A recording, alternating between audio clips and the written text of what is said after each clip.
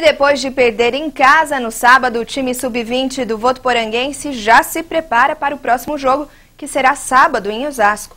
Mesmo com poucas chances de classificação, a equipe está empenhada em conseguir uma vitória.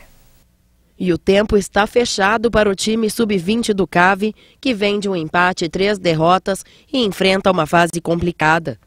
No último final de semana, a equipe perdeu em casa para o time de Santos.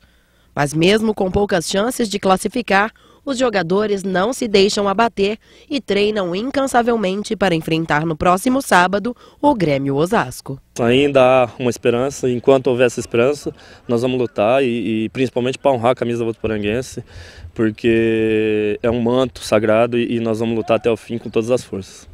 Agora, além de ter que vencer os dois próximos jogos, o time de Votuporanga depende ainda da combinação de resultados. E para a próxima partida contra o Grêmio Osasco, haverá modificações na equipe. Vou fazer algumas mudanças, uma até é, necessária porque o, o, nosso capitão levou o terceiro amarelo. É, mas vou, te, vou, testar uma nova formação lá, até porque nós temos que ir para o tudo ou nada. O jogo será às 3 horas da tarde no estádio Cidade de Deus Bradesco, em Osasco. Boa sorte para a equipe, então.